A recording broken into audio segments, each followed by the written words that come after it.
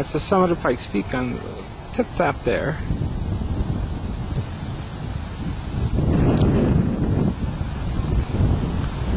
Hell that is, I don't know.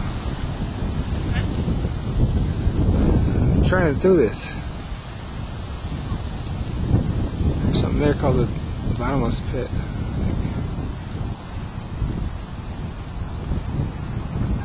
Something like that.